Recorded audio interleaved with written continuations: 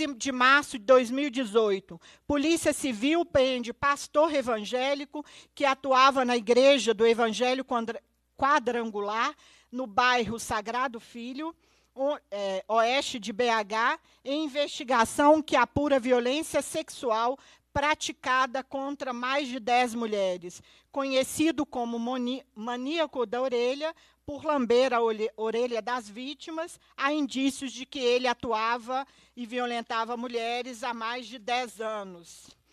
É, o advogado Ademir, o advogado do, do pastor Ademir de Souza Lataliza, que representa o pastor, afirma que abriu o processo contra as vítimas por calúnia e difamação, porque essas mulheres eram contra o pastor e fizeram um montim para é, prejudicá-lo. Enfim. Esses são os dados, né? não preciso dizer, dia 14 de março de 2018, né? assassinada a companheira Marielle no Rio de Janeiro com cinco tiros na cabeça. Esses são dados ínfimos das violências que nós mulheres vivenciamos. Isso para mim, e por que, que eu quis começar com dados que estão num jornal não de grandes circulações. Para mim, o um modelo desse masculino hegemônico é um modelo falido, porque ele é um modelo que é assassino. O modelo da masculinidade hegemônica, que está estabelecido dentro da sociedade brasileira e da maioria das sociedades, desse patriarcado, ele é um modelo assassino. Não há outra saída. E não há possibilidade de diálogo com um modelo que tenha a extensão do assassinato. Ou nós, mulheres, que estabelecemos a luta do feminismo por uma reorganização das bases sociais, onde nós colocamos que todos os sujeitos, mulheres e homens, negros, brancos, índios e de todas as etnias, têm o direito de viver numa sociedade de forma igualitária, se de fato a gente acredita nisso, para mim não há possibilidade de diálogo com esse modelo hegemônico. Não há. A gente vem fazendo denúncias. Eu tive aqui na aula inaugural, que a professora Cláudia Maiorga estava, onde ela veio trazendo né, o, as ondas do feminismo, e ela trazia a segunda onda do feminismo, que chega no Brasil em, em, na década de 70, no, na década que eu nasço, é, uma das coisas que unificava, seja o, mulher, o movimento feminista e o movimento de mulheres, que havia uma diferença, era a questão da violência contra as mulheres. Então, desde essa época, já tem uma unanimidade para a gente.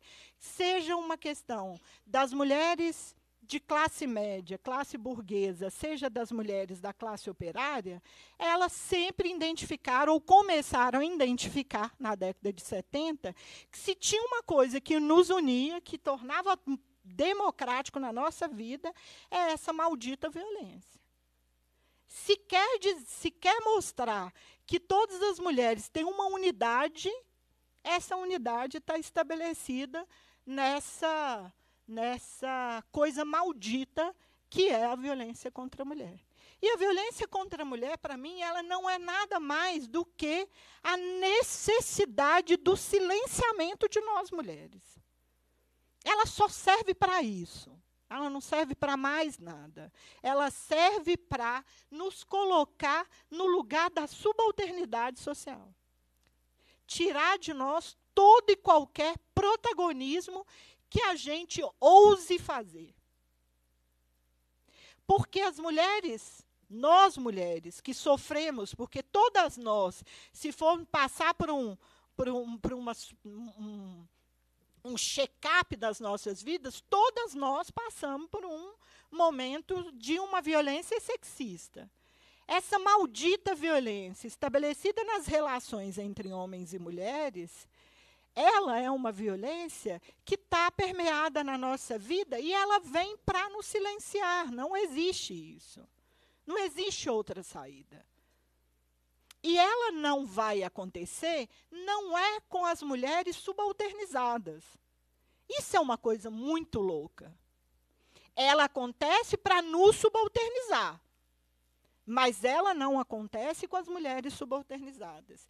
Porque se você for olhar as taxas de feminicídio, se você for fazer uma, uma, um check-up, se você for fazer um para trás da história dessa mulher pós-assassinato, você vai perceber que o momento mais arriscado desse feminicídio, a mulher vai sofrer, vai ter mais, mais é, condição de ser assassinada no momento da separação.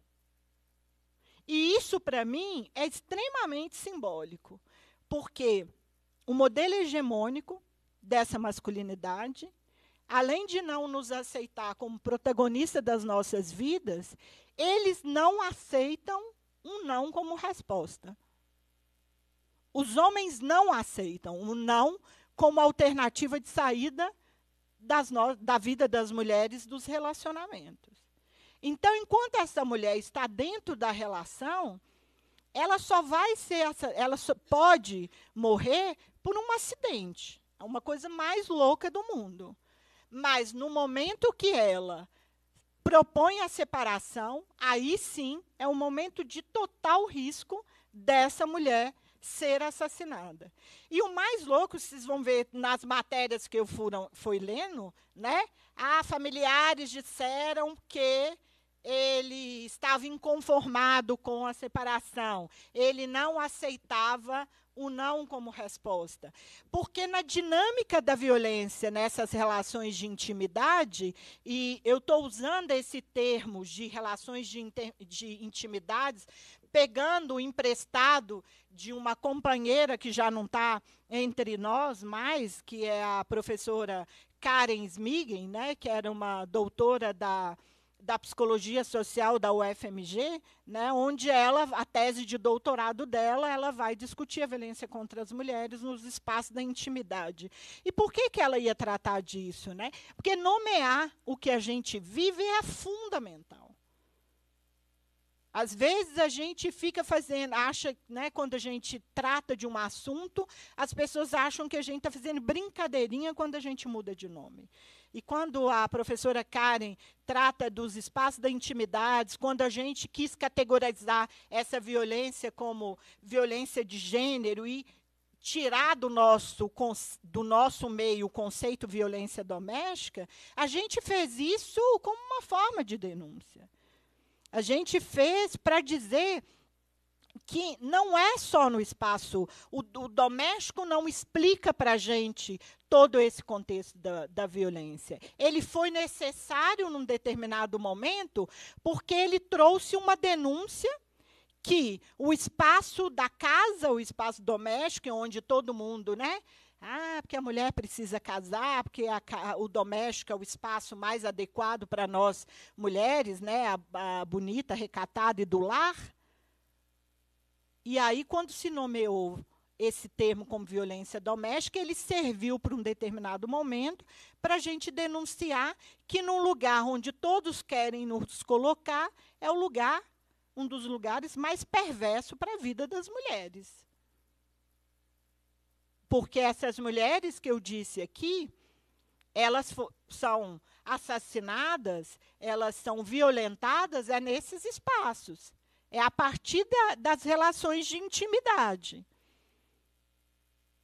Então, depois, pegar esse conceito da violência doméstica e requalificá-lo na questão da violência de gênero, a gente deu um outro salto para fazer uma outra denúncia.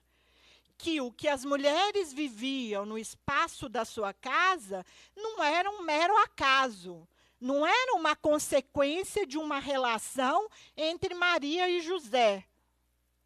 Então, quando a gente vai dizer que isso é uma violência de gênero, a gente vai politizar esse conceito e vai dizer que há um, um determinante cultural, um determinante político, porque aí, na questão de gênero, eu vou beber da Scott, Scott vai dizer do conceito, a, a, a importância de colocar o elemento político nesse conceito. Então, não é uma questão cultural, social qualquer. Os homens não tentam nos silenciar, não é por uma mera é, brincadeirinha que a gente fala demais, não. Eles tentam nos silenciar por uma ação política. Um feminicídio é, para mim, um dos fatos mais políticos na vida de nós mulheres. Nós morremos simplesmente porque a gente assume o risco do, do protagonismo de ser mulher. Nós estávamos, deve ter algumas pessoas que, que estão aqui na plateia que teve participando da organização do 8 de março unificado, né, que a gente estava. Tinha, tinha um grupo de, de mulheres que estavam participando da organização desse 8 de março. Uma delas é de um grupo que está está se organizando dentro da Defensoria Pública, do NUDEM, do Núcleo de Defesa da Mulher da Defensoria Pública, e são mulheres que é, conseguiram, né, são mulheres sobreviventes, né, são mulheres que conseguiram sobreviver a, a essa relação violenta e a gente ficou escandalizado com a forma de organização. Uma delas, na primeira reunião, uma das coisas que é muito difícil entre nós mulheres, assumir um protagonismo de organizar relatório, de já chegar numa primeira reunião e já topar fazer um relatório de uma reunião ou conduzir uma reunião, pegar o microfone, a gente ainda tem dificuldade disso. Ela, no primeiro dia que ela chegou, ela já fez um, pegou, assumiu o relatório da reunião desbancou um monte feminista como eu, que estava lá, que se acha é, que está na militância há 300 anos, né, e que já sabe conduzir uma reunião de organização de 8 de março, falava com a gente, às vezes a gente ia tentar né, é, falar com ela assim, não, espera um pouquinho, né, daqui a pouco você... E ela se mantinha firme, fez um resumo da reunião, que ao final a gente olhou assim uma para a outra e falou, que mulher é essa? Nós estamos fazendo um outro projeto lá no bairro São Mateus, lá no, no município lá de Contagem, lá, que é ali no Eldorado. Uma das protagonistas desse grupo de mulheres é uma das mulheres que também sobreviveu a uma relação de violência. E quando eu falo nós, é a Rede Feminista de Saúde, está fazendo um projeto nacional, a gente escolheu fazer no, no território do São Mateus. E quando eu fui conversar com essa mulher, para ver para onde que a gente ia, ela fala para mim assim, Ermelinda, nós temos um grupo de umas, umas mulheres, são poucas, lá no São Mateus. Você não quer que a gente faça esse projeto lá? O dia que a gente chegou para fazer a proposta para essas mulheres do São Mateus, a gente saiu de lá de boca aberta mais uma vez, porque nós, feministas velhas, históricas, podem usar o termo que vocês quiserem, não tinha metade da capacidade de organização dessa mulher que está bancando, junto com essas 20, o pouquinho de mulheres que era o grupo dela, eram 23 mulheres e que nós estamos lá quinzenalmente dialogando com essas mulheres, entendendo a realidade do território do São Mateus e do território lá do Nacional, que é um bairro que é de contagem, mas o pessoal tem muito mais referência com Belo Horizonte pela área limítrofe. Eu estou dando esses dois exemplos dessas mulheres, sem, é, não falando o nome delas, porque eu não pedi autorização para falar, mas para dizer de, dessa história que cada vez me convence. Não são as mulheres subalternizadas que vão viver a situação de violência são as mulheres que é, exigem o seu protagonismo. Porque elas podem até, num determinado momento da relação, É, outro dia também, num outro caso que eu vivi com uma vice-prefeita aqui da região metropolitana, que faz parte do consórcio que eu estou, ela isso eu posso falar porque ela falou publicamente. O município dela aderiu ao consórcio e ela, a gente convidava ela para todas as reuniões. O consórcio lida com políticas de enfrentamento à violência contra as mulheres. E aí, todas as reuniões que a gente chamava, ela não ia. Eu tenho outra reunião e tal. E aí, no mês de março, me chamaram para falar lá e ela, diante de todos os funcionários da prefeitura, porque era um, era um bate-papo com as servidoras, ela pega o microfone e fala: é, Eu preciso te contar uma coisa, Ermelinda. Eu não ia nas reuniões do consórcio, porque eu vivi uma, vivi, é, uma situação de violência com meu ex-companheiro e conta toda a trajetória dela e aí ela fala, mas não, dá, não dava mais para eu esconder. E ela, publicamente, ela, vice-prefeita, joga toda para, para servidoras desse processo. Então, para mim, não tem uma outra saída. Não dá para dialogar com esse, esse sistema né, hegemônico dessa masculinidade, porque primeiro que ele não esse, esse essa essa masculinidade hegemônica que é branca, burguesa, né, heterossexual, porque na masculinidade hegemônica, né, nós estamos vendo homens aqui, só quem está filmando. É, digo para vocês, homens que estão aqui, essa masculinidade hegemônica não serve nem para vocês nem para os homens. Porque ela, nela não cabe todos vocês. Cabe uma parcela mínima de homens. E possivelmente vocês que estão aqui não estão enquadrados e não cabe vocês nessa masculinidade hegemônica do qual eu estou falando. Não estou dizendo com isso que vocês não absorvem alguns privilégios que essa maldita masculinidade hegemônica doa de bandeja para os homens. O privilégio vivenciado pelos homens, qua, quase todos, em menor ou maior grau, vocês vão ter privilégios. Mas ela não cabe vocês. E se os homens que não cabem dentro dessa masculinidade hegemônica não acordar, eles também serão exterminados. Por que, que a juventude negra está sendo exterminada? Tem, o, tem a questão do racismo.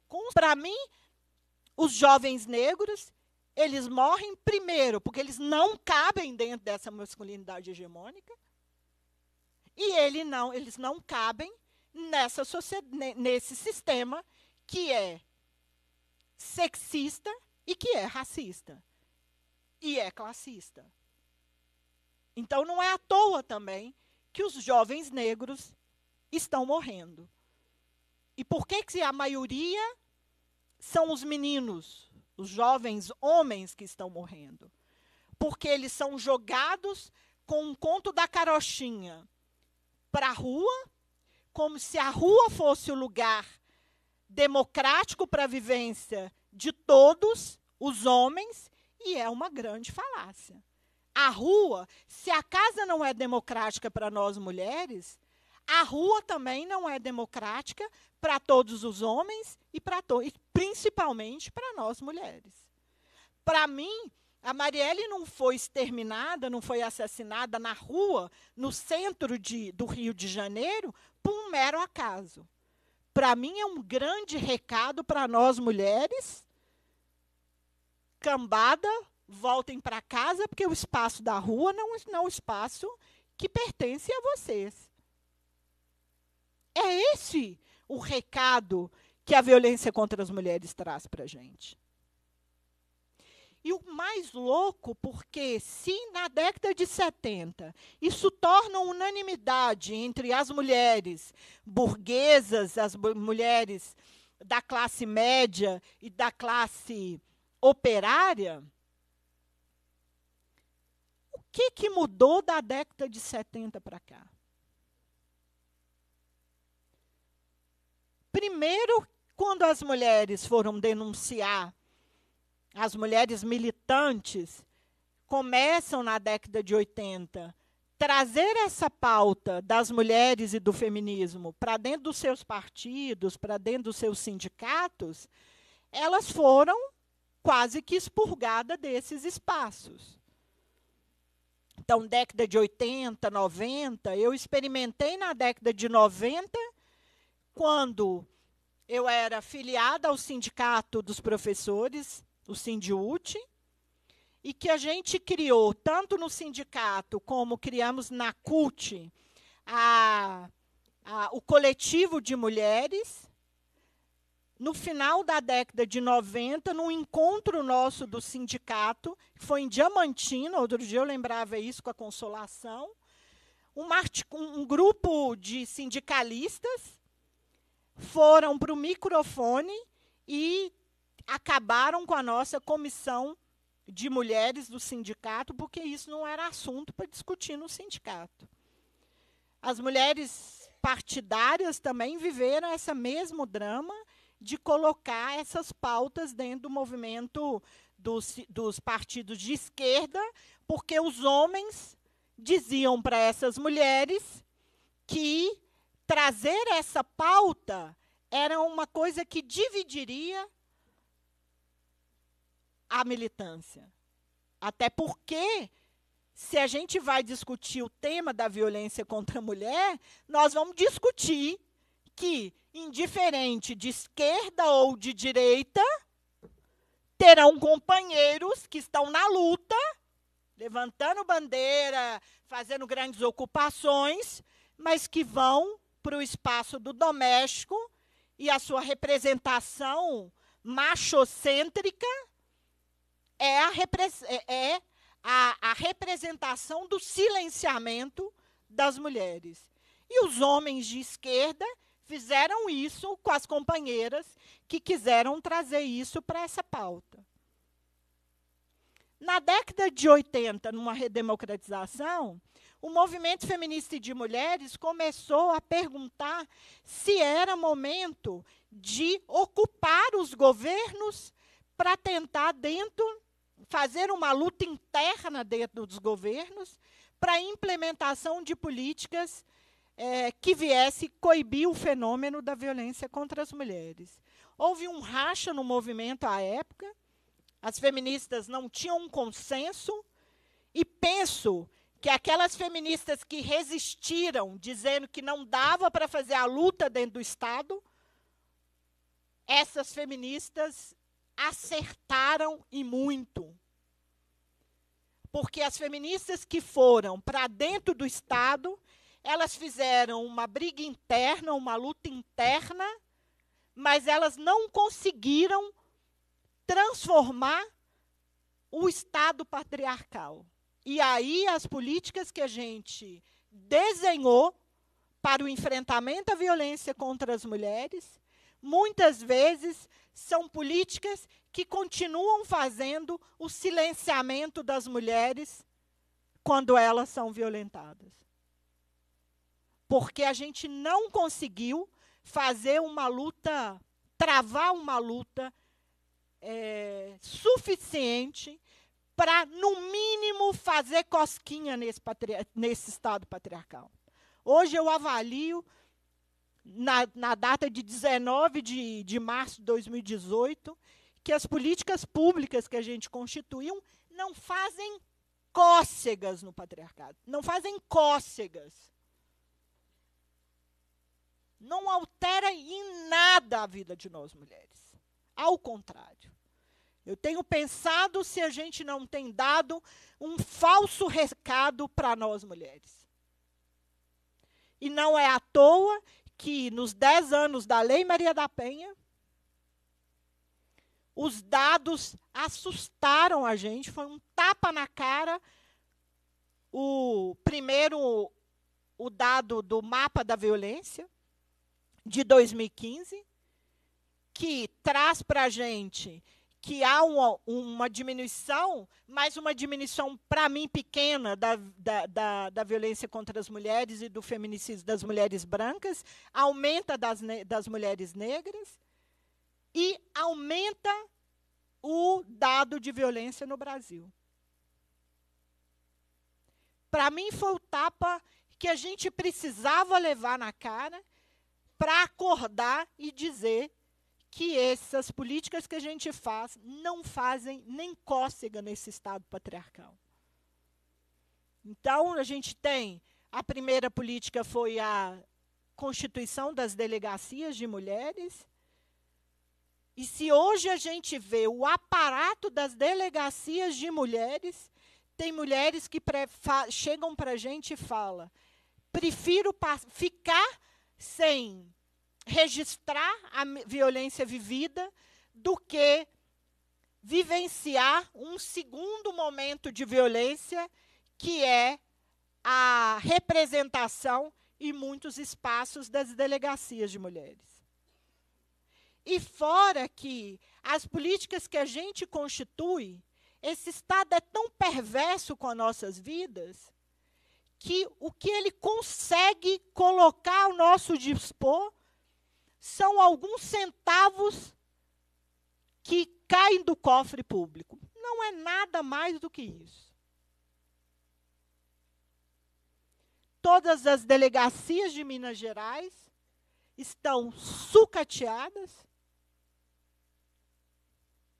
As delegacias de mulheres, muitas vezes, não têm cela As delegadas não têm armamento, não têm arma, não têm algemas para dentro da delegacia. É um caos. 2013 eu tive a oportunidade de fazer uma pesquisa no Mato Grosso do Sul, onde eu visitei todas as delegacias de mulheres no Mato Grosso do Sul. Era de chorar. Você não sabia se você chorava com o número de casos de violência contra as mulheres, ou se você chorava com os relatos que as delegadas traziam para a gente da precariedade do trabalho que elas tinham. E agora não é diferente do que a gente vive em Minas Gerais. Se hoje vocês chegarem na delegacia de plantão de mulheres aqui de Belo Horizonte, a única delegacia no estado de Minas Gerais que funciona 24 horas, vocês não vão ter lugar para sentar. As cadeiras não têm encosto. Você vai chegar agora às 7 horas da noite, você só vai ser atendida lá para as 10 e meia da noite. E olha que eu estou fazendo um prognóstico para baixo. Não queiram ter sede porque não tem bebedouro na delegacia de mulheres.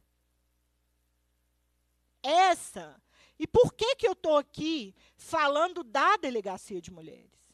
Porque a delegacia de mulheres foi a primeira política pública, né, em 85, que foi constituída a época não era essa, essa política pública que as feministas é, que estavam na luta gostariam de ter constituído.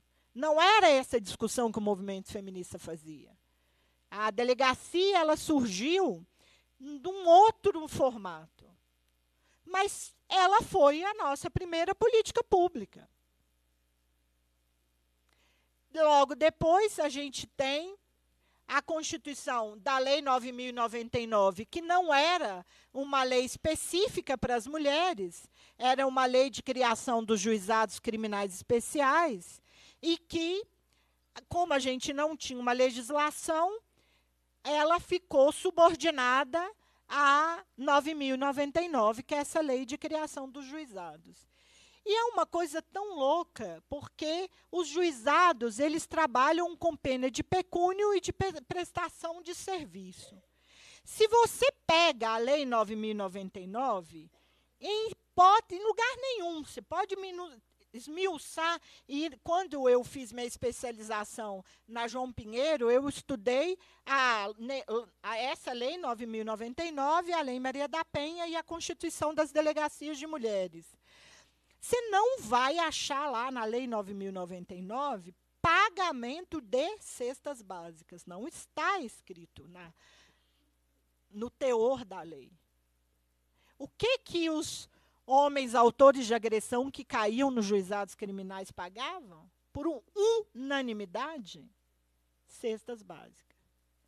E o absurdo ainda é maior, porque quando foi constituída a Lei Maria da Penha, se vocês lerem a Lei Maria da Penha, ela vai falar que não pode se aplicar a Lei 9099